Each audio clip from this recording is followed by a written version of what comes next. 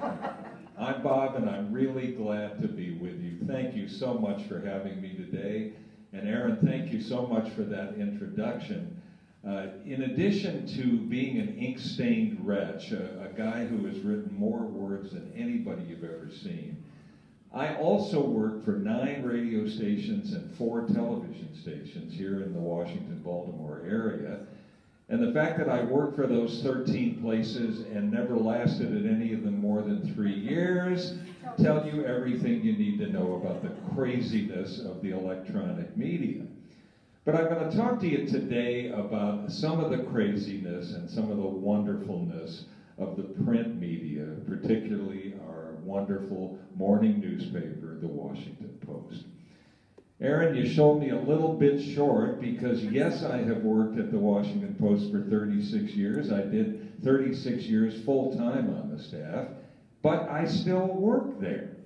I do special assignments, and I'll tell you more about that near the end. First, let me put my coffee down. This is mother's milk for me.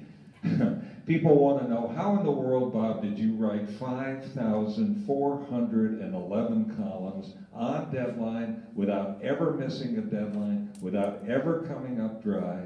And the answer is coffee. Mother's milk. I'm going to talk today about the golden era at the Washington Post and uh, how I was lucky enough to be a part of it. But I want to begin with how I began because I think that my job interview story, uh, I've heard hundreds of them and I would stack mine up against anybody's. The year was 1967 and I had done one full year as a cub reporter at a long dead newspaper in Albuquerque, New Mexico. That was my first job out of college. So I was sure I was ready for the big time, and I wrote a letter to the editor of the Washington Post. You remember letters with a stamp? Yeah. And I said, I want to come east for an interview, and he wrote back a letter with a stamp. And we made an appointment for a couple of Monday mornings out uh, at 9 a.m. Friday night comes around, and it's time to fly. And I'm driving around around the parking lot of the Albuquerque airport, and I cannot find a place to park. Oh my gosh, my dreams are going to go up in smoke. Finally, I find a place to park. I got 10 minutes to make this flight. I'm running through the airport, and it occurs to me that I have nothing to read before five hours up there. Now, one thing Aaron did not tell you is that I have an almost lifelong relationship with the card game Bridge. I have almost 10,000 master points. I'm a national champion, a 31 time regional champion. I write about bridge, I teach bridge. Bridge and I go way, way back. So I duck into the newsstand of the Albuquerque airport, and there it is a book about bridge. Better bidding in 30 days. You know, one of those junky books that they sell only in airport bookstores. So I bought it. Read it all the way east, had a nice weekend in Washington. Show up right on time for my 9 a.m. Monday morning appointment. And for those of you who go way, way back in Washington, this is the old, old Washington Post building at 1515 L Street Northwest. You got me? Remember it? Remember the Pickley Hotel on the corner? Yeah? Wait, you, we'll talk. That was a long time. So I'm, I'm waiting in the, in the uh, elevator lobby. A young woman comes down to escort me upstairs, and she says, Didn't they tell you? He's not the editor of the Washington Post anymore. Over the weekend, President Johnson has named him the ambassador to the United Nations. And there's a new guy in the corner office, 9 a.m. Monday. He has absolutely no idea who I am. I have absolutely no idea who. We go upstairs. This guy sticks out his hand and says, Hi, I'm Ben Bradlee. All of you know that in just a few short years, Bradlee will become the most famous newspaper editor in American history. I think the best in American history. And I hope that all of you, or most of you, have seen the film All the President's Men. Have you? The film about Watergate? I'm not a movie guy, folks, but Jason Robards Jr. in that film does the most perfect job of capturing Bradlee, who was two people conjoined into one. He could be your playful, funny best friend, hail fellow well met, and then he could just flick it on and change into all business, just like that. So we go into his office. How was your flight? How was your weekend? Oh yeah, Albuquerque, blah blah blah blah. And then he flicks it on. And Bradlee really did talk like this, very gruff, gravelly. He looked at me and he said, All right, what's the last book you read? Obviously, he wanted me to say David Copperfield or something like that. And I cannot tell you 57 years later why I decided to tell Bradlee the truth. But I, I remember thinking, okay, all right. You had a nice weekend in Washington, Robert. And I looked him in the eye and I said, better bidding in 30 days. He looked at me, you play Brad? Yes, sir. You play well? I said, yeah, I got all these master he starts writing on a yellow pad, and I can't see what he's writing. He finishes and he frisbees the pad at me. It hits me in the gut, and I look at the pad. There's a bridge hand written on the pad. And Bradlee informs me that he was playing with his wife the night before, and I'm looking at his wife's hand. And he opened the bidding with one club, and the next player passed. And you believe she bid one diamond with that hand?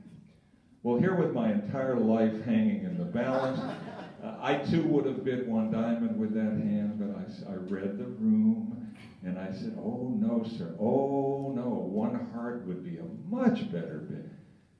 Then I get 10 minutes of Bradlee reminiscing about how he used to fleece the suckers in the dorm at Harvard in the 10 cent a point bridge game. I think he thought I was Fast Eddie or somebody, which I was not and am not. So I'm nodding. Finally, he stands up and sticks out his hand again and hires me on the spot. So I can go to my grave, I hope, in a very large number of years, being able to say that I truly was the first person hired by the legend himself, Benjamin Crowninshield Bradlee. But it only went up and on from there. Uh, later during Watergate, I sat between Woodward and Bernstein throughout Watergate. I had a first name basis friendship with the amazing publisher of the Post, Katharine Graham. I was first name buddies with uh, some of the most legendary people who ever worked at the Post. The great Shirley Povich, the sports columnist, the amazing Herb Block, the editorial cartoonist, but when I started at the Post, the golden era hadn't started. In fact, the newspaper was not exactly the most reputable place in the whole world. I walked in there, I went back to Albuquerque, came back two weeks later to start.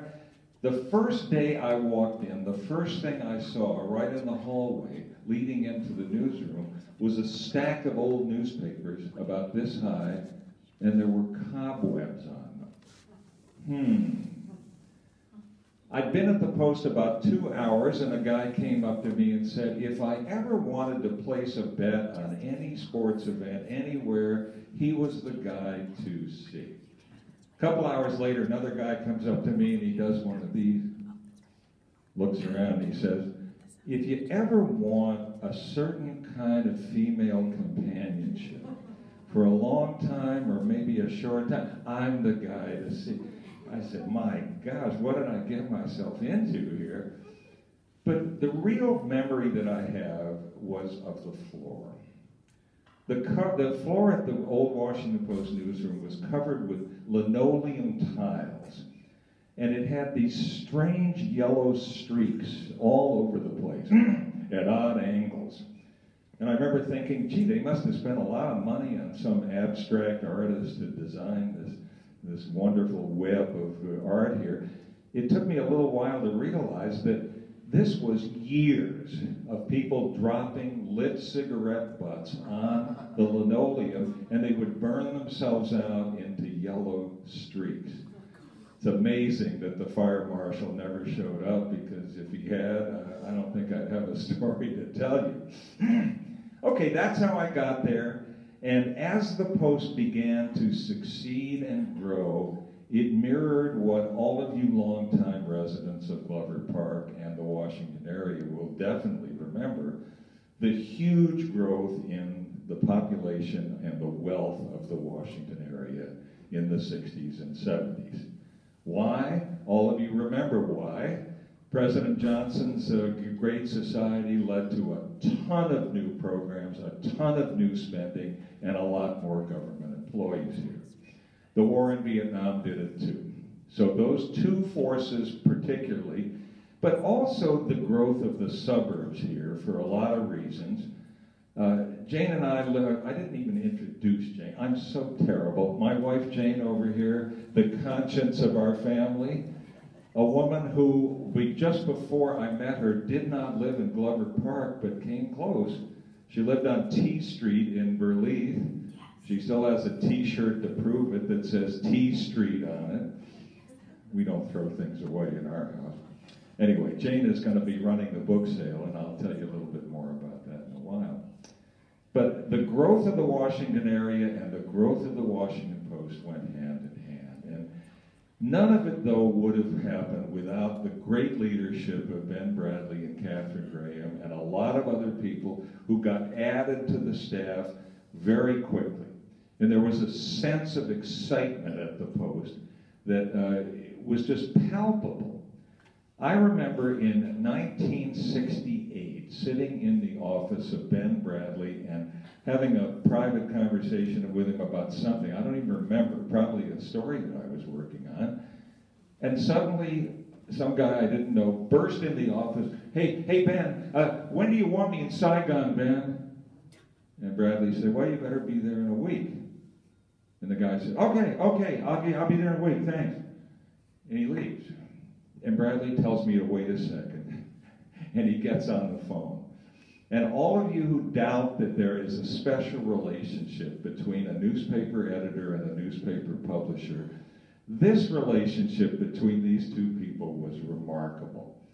And I'll give you Bradlee's side of the conversation because this is the one I heard. Kay, it's Benji.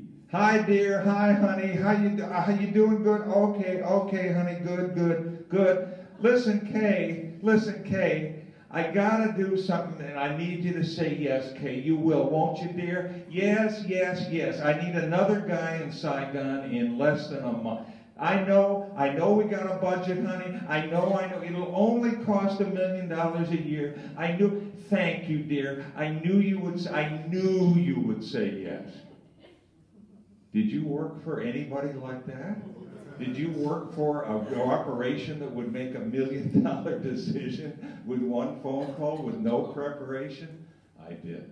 Okay, that's not all good, and the Post was not always the most disciplined place in the whole world, but it was exciting, it was growing, and a whole bunch of talent started to arrive. Two people who will belong to the ages were named Bob Woodward Carl Bernstein. What they have done for the Washington Post reputation, for its bottom line, and for the world of journalism, I think stands the test of time. These two guys are going to be the two most famous reporters who ever lived in a world of lots of reporters who deserve that honor. But I sat between them throughout Watergate. Typical great Washington Post management I was not working on Watergate stories. I was sitting between these two guys. You would think they would have moved me out from in between them, but no, I was sitting. So they were working around the clock on Watergate. I was working on other things. And this leads to my one regret uh, in my long career at the Washington Post, just one. I am not in the movie. I should be, could be, ought to be, wanted to be, deserved to be in the movie. I had one line that I would have been great at in the movie, playing myself, of course. I would have won Best Supporting Actor. I know I would have. Here's how it happened. Every afternoon about 5 o'clock, squadrons of editors would arrive at our little pod to talk about the Watergate story for the next day.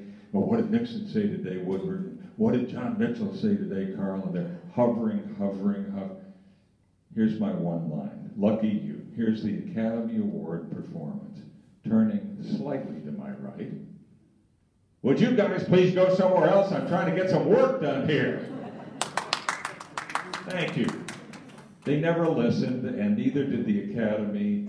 And the movie is, belongs to history, and so do those guys, and I do not. But, but, here's the good news. Well, first of all, get a grip, everybody. The Watergate break in is now 52 years ago. Can you believe that? Wow. But there's gossip out in Hollywood that they're talking about a remake of All the President's Men. Are you ready for a 90 year old Robert Redford?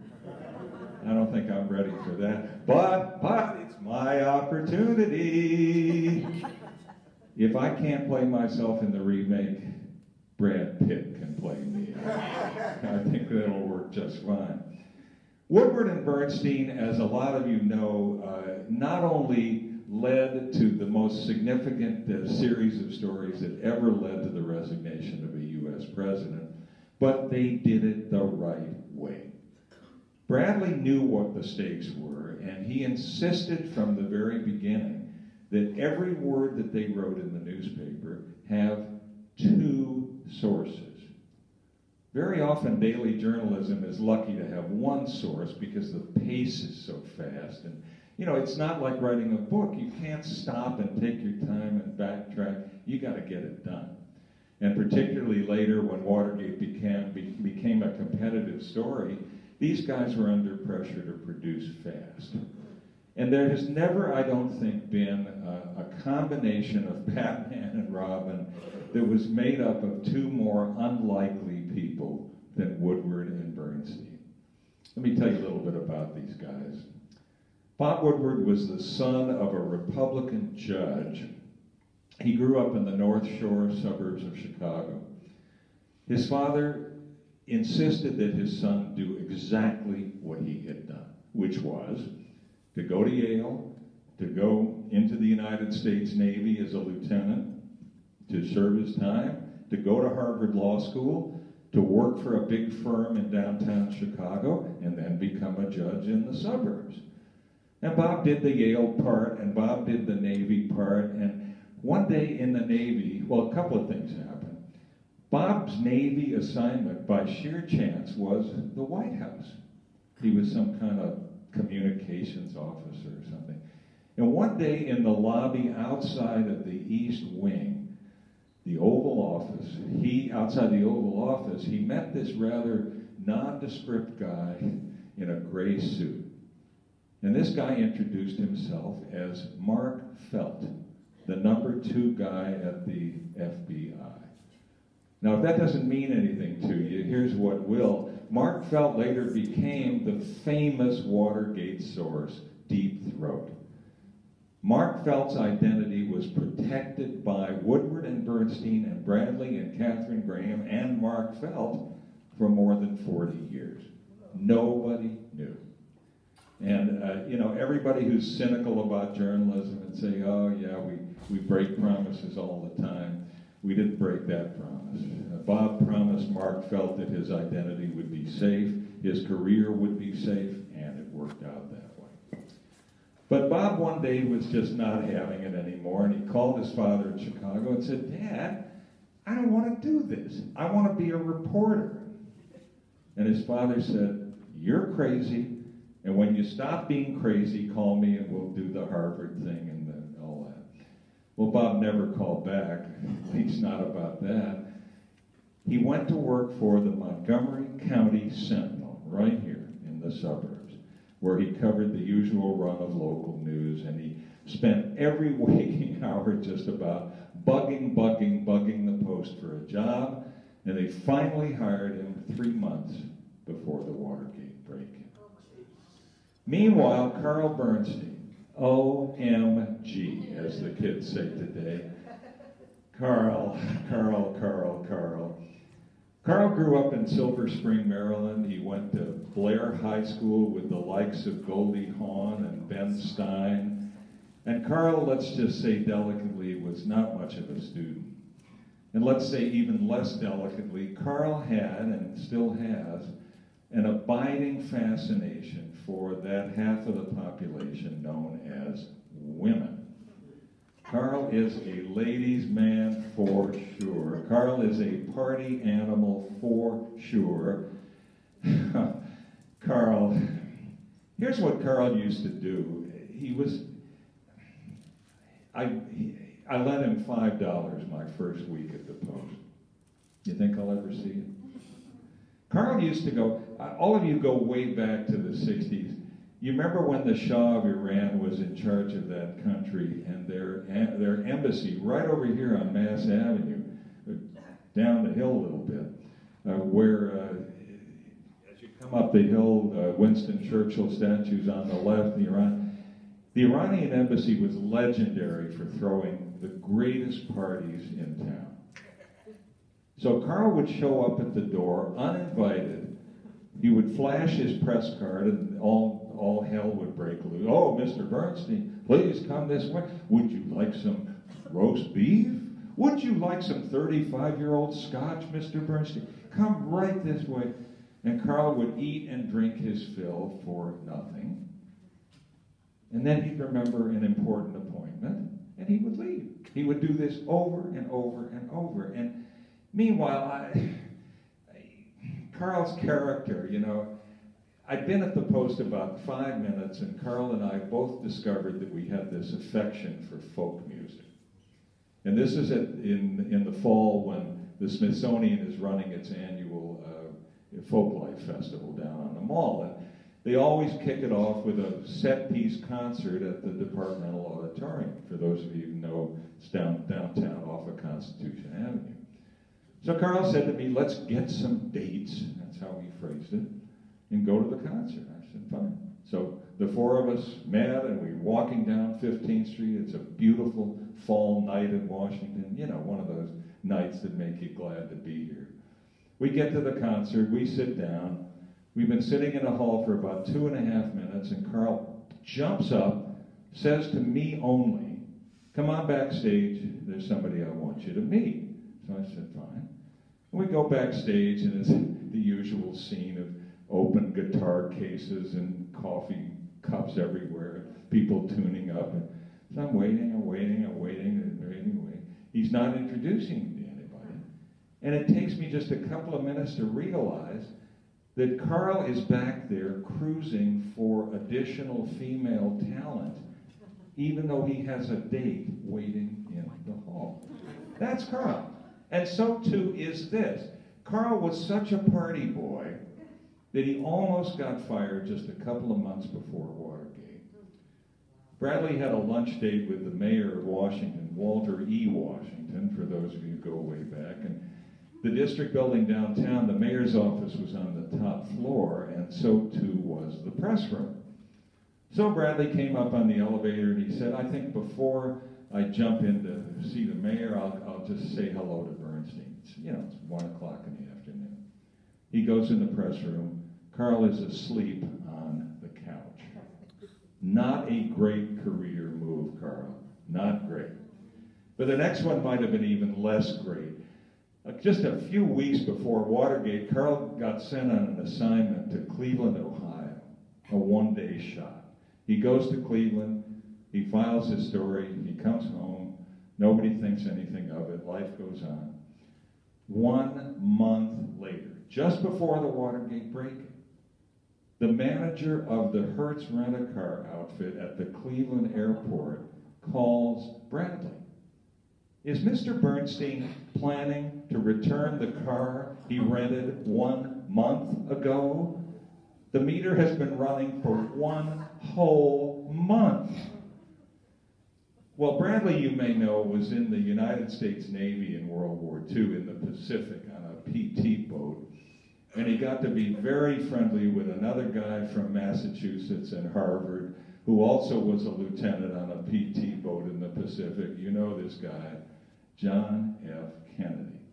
And these two people were friends for the rest of their lives, and they were neighbors in Georgetown, right down the street here. Bradlee always said that the main value he always saw from his time in the Navy was that he learned how to curse for two consecutive minutes without repeating himself. Try it sometime, gang. You will flame out after 20 seconds, I'm sure.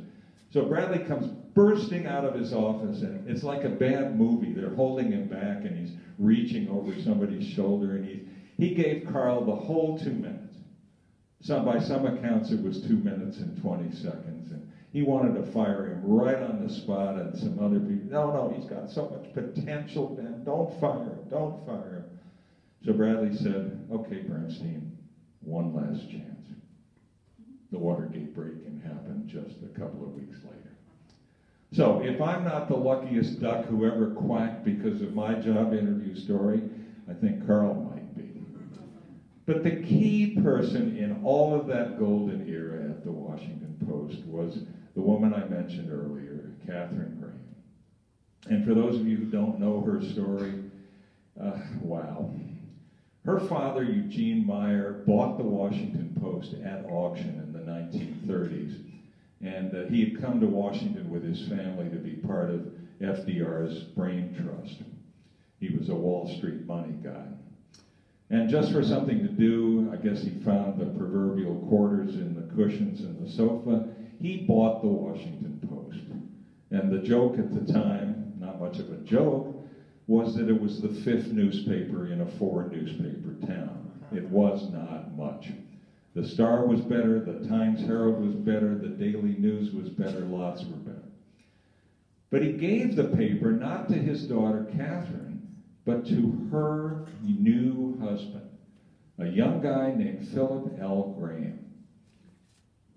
Why did that happen? Because men ran the world in the 1930s, and women did not object and did not expect this to be any different. And Katharine Graham did what was expected of her. She kept the big mansion in, on R Street in Georgetown. She had one, two, three, four babies right in a row. She belonged to all the right clubs and boards and all that stuff. She had dinner parties when she needed to. She never thought she would become Katharine Graham in capital letters. And then one day in 1963, her husband committed suicide. And Katharine Graham had a decision to make. Would she run this newspaper herself, although she had no experience whatsoever? Would she sell it? Would she run it uh, sort of, but with lots of help? And all of her advisors, uh, all of the men, of course, said, You can't do this, you can't possibly do this. And she said, Watch me. And Katharine Graham became a legend. Katharine Graham was often accused of being the most powerful woman in the world, and she hated that. And she would say, you know, what about Golda Meir? What about Indira Gandhi? And what about Margaret Thatcher? But in her own way, she was as tough as any of them. She stood up to the Nixon administration, first during the Pentagon Papers, when uh, the Nixon administration wanted to preempt the Times, the Post, and the Boston Globe from publishing this study of U.S. involvement in Vietnam. And then just several months later, it happened again with Watergate. The Nixon administration did not want the Post to keep harping on this story, and it did with her encouragement. This woman was as tough as anybody I have ever seen. She was also really good at business. And in her, the time from 1963 to the post high mark in the late 1980s, those 25 years, she took this little sleepy southern town newspaper and built it into a colossus, the center of a Fortune 500 company, a multi-million dollar newspaper. It was a smash hit. But I want to tell you two Katharine Graham stories involving me because it'll give you another view of who this woman really was. She was so many people rolled into one, but oh man. 1990, some of you may remember this. Uh, Giant Food was by a mile the largest advertiser in the Post. Remember? You'd get to about page A6 every day, and the, the next 10 pages would be artichoke specials and coupons. And in those days, Giant was spending about $14 million a year on advertising in the Post. And as they like to say these days, in today's dollars, that would be about $100 million a year. That's big money. Nobody ever said to me, go easy on Giant, but you know, you didn't want to be stupid. So in about 1990, a lot of you remember this, that Giant and also Safeway was running a promotion. You could bundle your grocery receipts and maybe get some neighbors together, take them into your neighborhood Giant, and they would redeem them for a voucher that would get computer equipment for your kid's school. Anybody remember this? Yeah? So Mr. Genius here found out about this, and uh, with my million readers every morning, I said, hey, what if I invite all of my readers to send all of their receipts to me?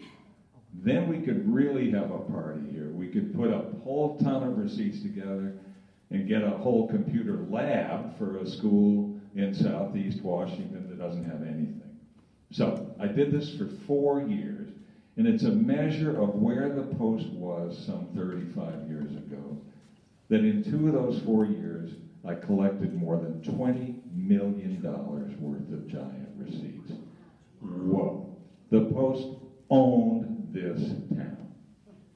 So one day I'm getting ready to do it again, and my phone rings, and it's a guy I don't know who introduces himself as some new vice president at Giant Food. And this guy starts screaming at me. Hmm. Bob Levey, you have to stop doing this right now. Bob Levey, don't you know that the whole point of this program is that no one will ever redeem these receipts? Bob Levey, do you want me to call Katharine Graham right now? Do you know that we spend $14 million a year on your newspaper? I love it when they call it my newspaper. If it were my newspaper, folks, I wouldn't be with you today. I'd be on my private island in the Bahamas somewhere. Anyway, he just went on and on, and finally, I think we hung up at the same time. And I remember looking at the photo on my above my desk of Jane and the kids and thinking, oh man, you've really done it this time. Six minutes later, the phone rings again. It's a woman with a very deep voice that I recognized right away. Bob, it's Kay, said Katharine Graham. Bob, what's this about giant food? I told her. Katharine Graham said, Bob, I'll take care of it. And I never heard another. Katharine Graham stood in the schoolhouse door against her largest advertiser on behalf of one guy, me. Wow. I still am just absolutely knocked out by that, and uh, so too are everybody in my family because we were able to keep on buying groceries for a while, even though it didn't look good there for a minute. Katharine Graham used to say that her job was to build the sandbox, put sand in it, and then say to all of us, go play. But what this story says is that she also had our backs when the chips were down in a way that many, many publishers would not have. And many publishers would not have the human element that she showed me in 1997. Gosh, is this, it really is. 27 years ago. Just another day, I'm finishing up at the office.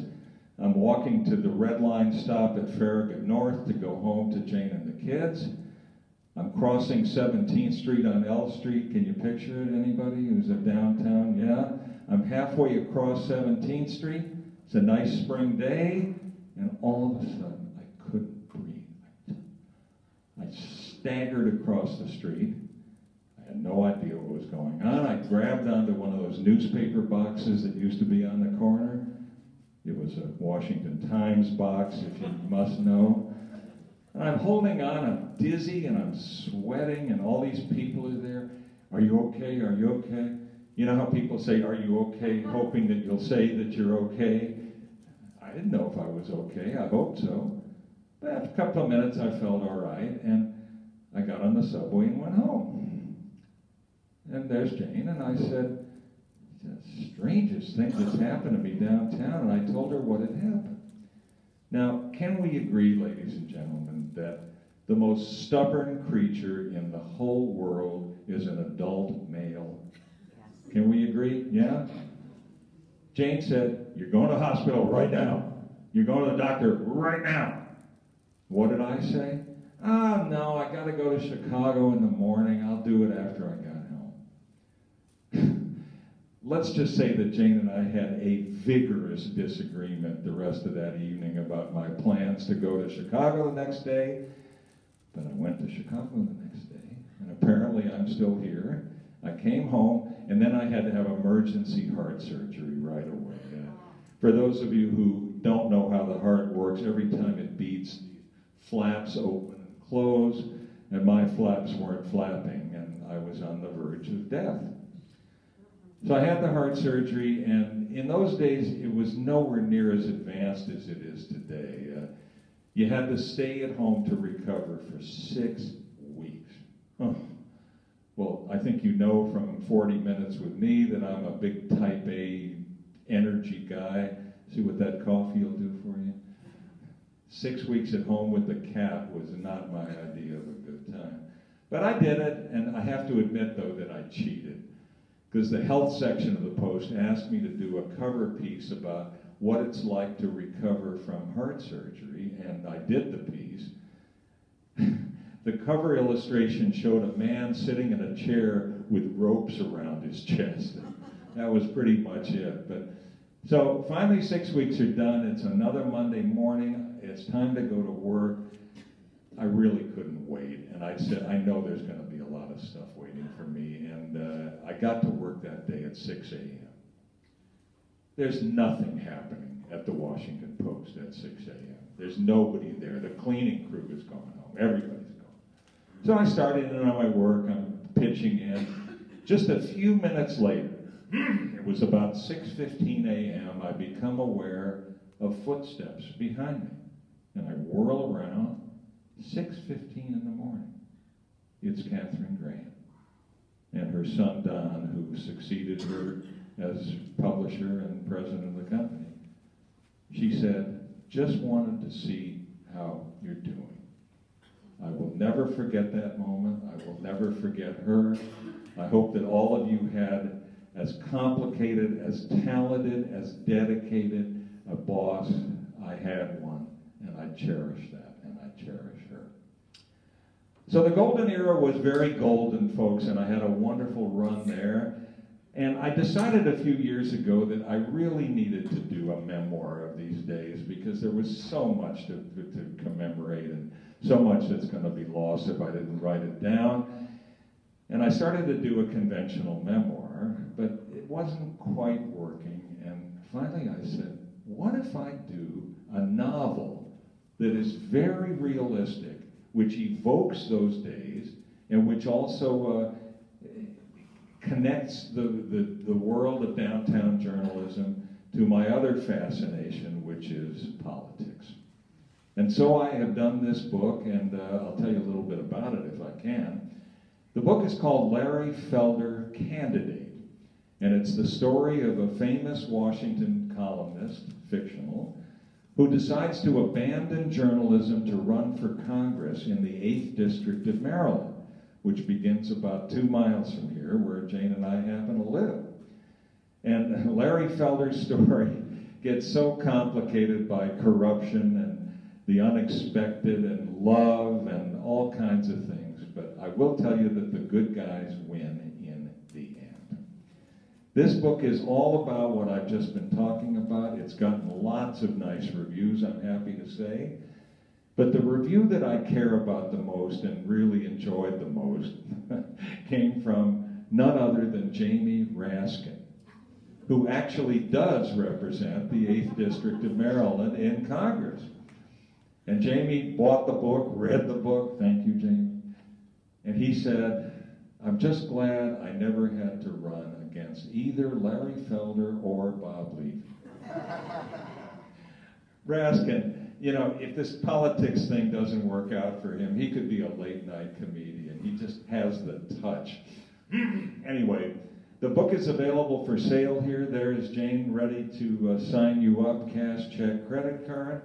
When I'm done, I'll be there to sign copies and uh, happy to sign any way you like. Uh, I think this would be real nice book for your library, but also as a gift if you want to uh, give it to somebody who cares about these things. Okay, number of you came up to me ahead of time and said, Oh, so Larry Felder is you, huh? No, he's not. I am not Larry, and Larry is not me. There are certain obvious similarities. We both grew up in the Bronx. Yes, I survived. And uh, we both started on small newspapers and came to a bigger one in Washington, but there the similarities end.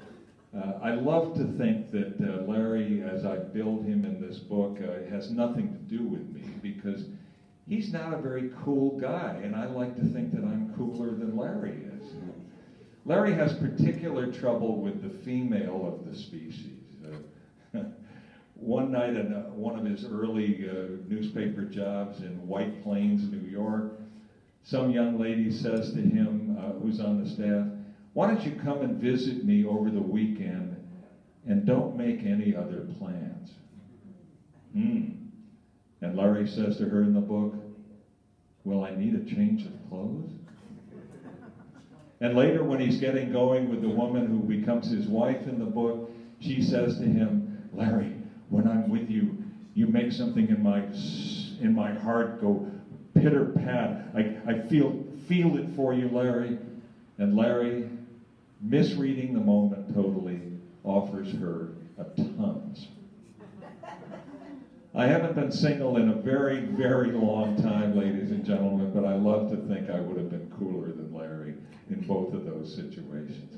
Anyway, the book is available. Happy to see you over there when we're done.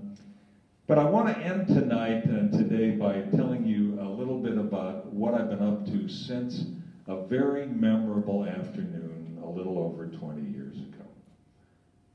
In 1995, uh, the Post first became aware of something called the Internet. I think history will not be kind to the Post and other major newspapers for not seeing immediately what a threat this was because it instantly became an existential threat. By late 2003, just eight years later, I think it's fair to say the Post was in danger of failing. The entire advertising base had gone away, circulation was beginning to drop, young people were not finding and buying or subscribing to the Post, death spiral. But still, we were publishing a lot of newspapers every day. Still, we were honored and respected. Still, we continued to be the number one news operation in the metropolitan area. And then one day in December of 2003, just another day writing just another column, guy walks into my office with a huge stack of papers and drops it on my desk and says, You better read this. The first buyout offer under the Graham family. There have been six now. But this was the first, and 154 of us were bought out on the same day at the end of December 2003. Uh, I'd been at the Post for more than uh, 36 years at that point. Unbelievable. We had one in college, we had another one about to go to college. This just could not have landed at a worse time.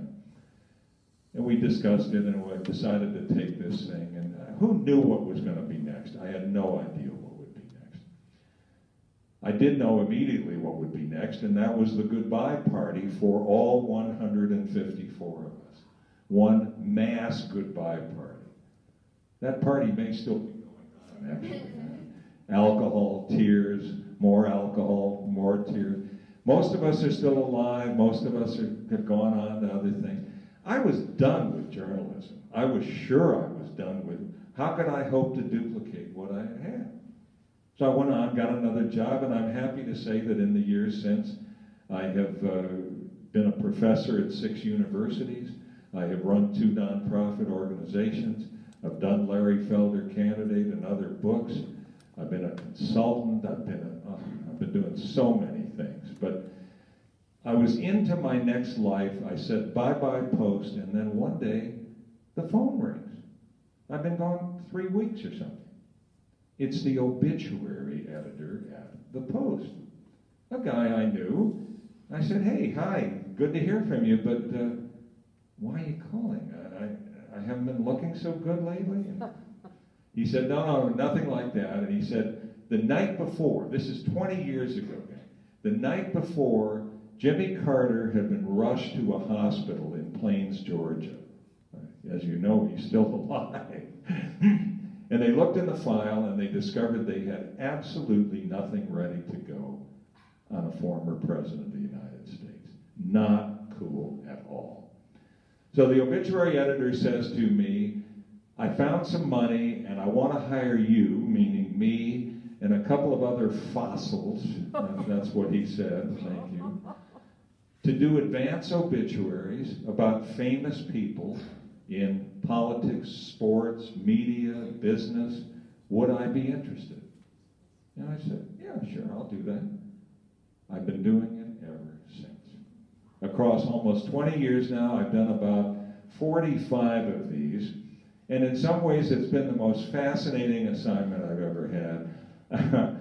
it's so fluky, you know, you never know when somebody's going to die.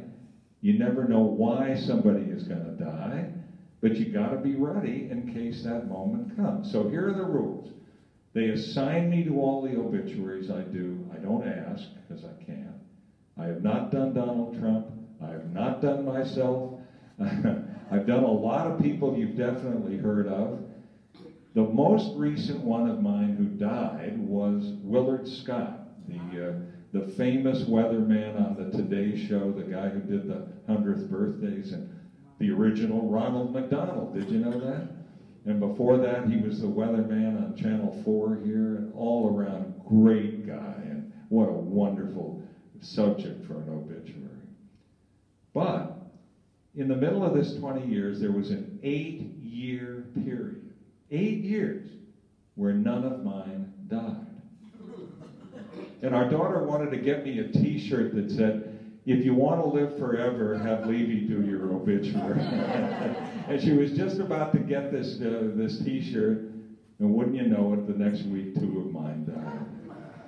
You know, how, how people view their own deaths. I want to end on this story because this one still absolutely blows my mind. I am not going to tell you who this person is because he's still alive, but you know this guy. He's really famous. And I went downtown to interview him for an hour and a half. Uh, sometimes though that goes well, sometimes it doesn't go well. This was fine. We, we, we were really connecting. So I'm done, and I got one arm in my coat, and I'm getting ready to leave. And this very famous person looks at me and says, I just want do one favor, okay? I said, Yeah. He said, Please don't mention my first wife in the obituary. I said, What? You were married for 30 years. you had children together. She ran all of your political campaigns. She raised all the money for your political campaigns. And before you ran away with a 30 years younger campaign manager and married her and unmarried the first one, she was really central to your life, wasn't she? Well, yeah, but I just don't feel good about having her in my obituary. Well, yes, I pointed out to this guy that he would be too dead to read the obituary, so it's not going to matter to him. So, if you've ever seen this, whether you're a man or a woman, when two men face off like this, it's like mastodon and mastodon. I'm not going to give in. Yes, you are. No, I'm not. So we kind of looked at each other, glared at each other, and finally he gave in. How could he not? It's my newspaper and my obit. So I'm here to say, folks, that sometimes truth, justice, the American way works. When this guy goes, his first wife will be there. Yes. Folks, I'm going to stop here. Thank you very much. I'd be happy to take your questions now about absolutely anything at all. And again, once we're done with the questions, I will be back there with Jane to sell and sign books. Yes, ma'am. What did Carl do with, the car? What did Carl do with the car? Yeah, you know? Yes, he left it at the airport, but he forgot to check it out with the Hertz rent-a-car people. Oh. It was sitting in the parking lot for one whole month. Meter running. Real good move. I don't, I don't remember what the tab was, but it was a lot. Yes, sir. Did you use it for it? The apparent? No. Hi, Yes, sir. My question is, so what do you think about the future of the Post these days? I think it's very different and very limited. I think if you're asking me, sir, whether the print newspaper is going to survive, the answer is maybe as long as Jeff Bezos wants to incubate it and keep it afloat. If it had to survive in the market on its own, it would have been dead a long time There are no ads there. The circulation is about 20% of what it used to be right now today. 20%. That's not a business that survives. However, uh, the digital side is doing somewhat better, uh, and, but then, however, upon however, the Post lost $100 million in 2023. $100 million. Even for Jeff Bezos, that's a lot of money. How did that happen? They assumed that the huge surge of digital subscribers that arrived when Donald Trump arrived uh, would continue. When Donald Trump left, it dropped precipitously from 3 million down to about 1.5 million right away, and it's still about 1.5 million. Even the digital post is marginally profitable, but not big time. What's going to happen? They're going to have to find a way to add value to the post in the way that the New York Times has done. The New York Times, for those of you who don't know this, has acquired Wordle. You know what Wordle is? Some nods here. Do you know what Wirecutter is? Anybody know? Okay. I'm not sure I know, but it's another uh, Generation X aimed uh, sidecar business. So you don't just get the news, you get Wordle, you get Wirecutter, you now get a sports site called The Athletic. You get a bundle of things. And today you don't get that bundle at the Post. So that alone may be a way to survive. But oh man, it is bad, bad, bad out there and gonna get worse. More questions, folks? Sorry, yes, ma'am. What do you think, what do you think of the quality of the writing uh, with AI bots? You know how to hurt a guy, don't you? AI could be the end of every journalist in the world. That's not an exaggeration. If the market is willing to settle for 90% of what a human could have done, if the world is willing to overlook the weirdness of some of the of the AI produced words, and the world might be willing to do that. Don't forget that we now live in a world where people think they can get a full taste of any story on X, formerly Twitter. We have people who think that they are thoroughly informed by looking at their Instagram feed and seeing whatever their friends sent them. We've got young people walking around through life with a phone in their faces, and that's all they ever see, do, or think about.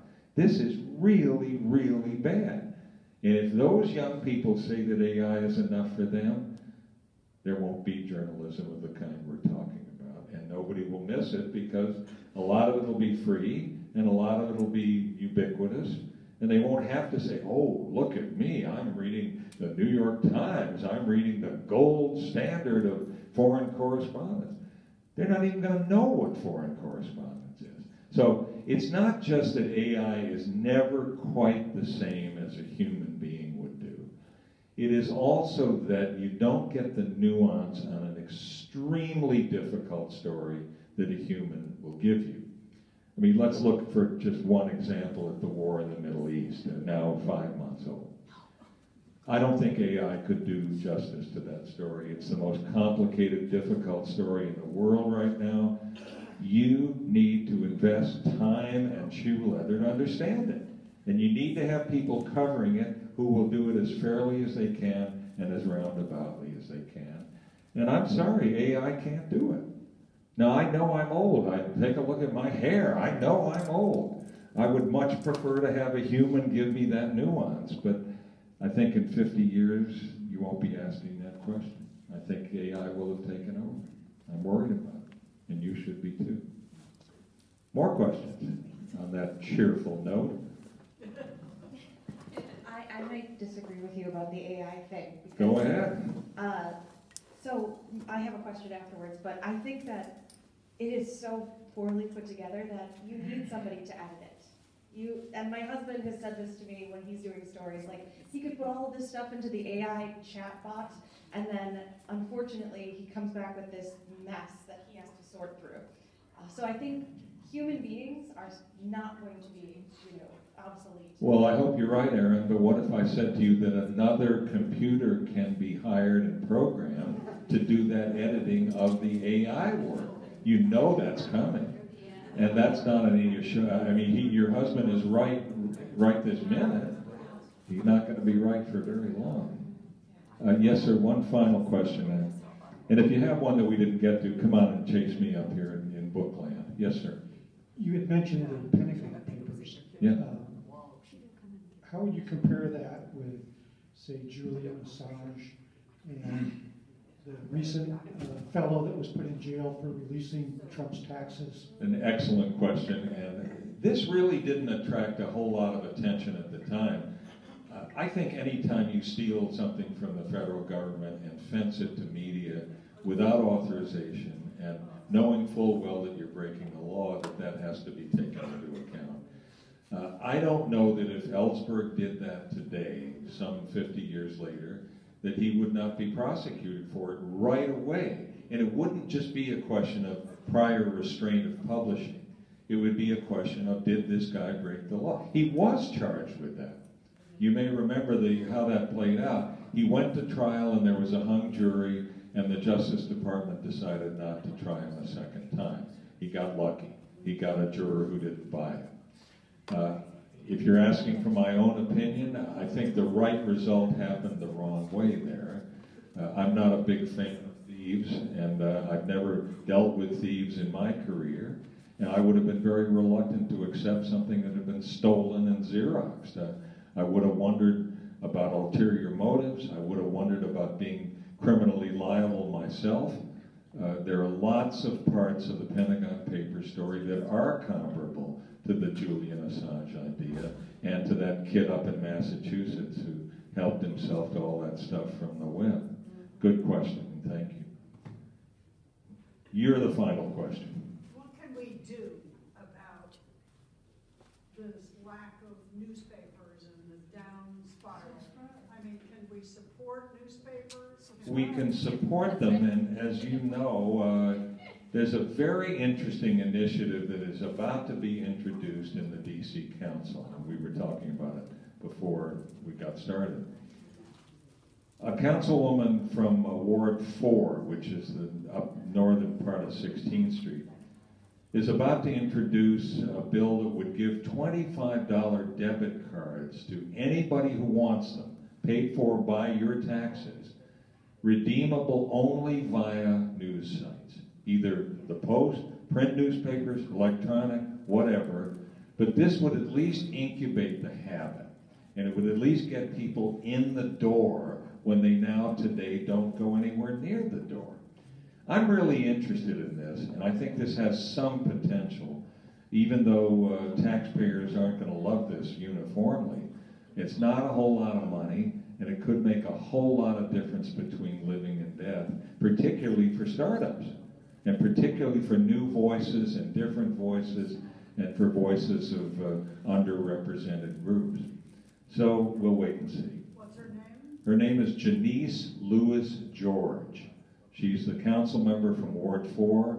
This is on her website, I believe, if you want to take a look. I'm fascinated by this because no other prescription that I've seen or read or know about has ever tried to solve this issue that way. A lot of people say, oh, well, it'll take care of itself.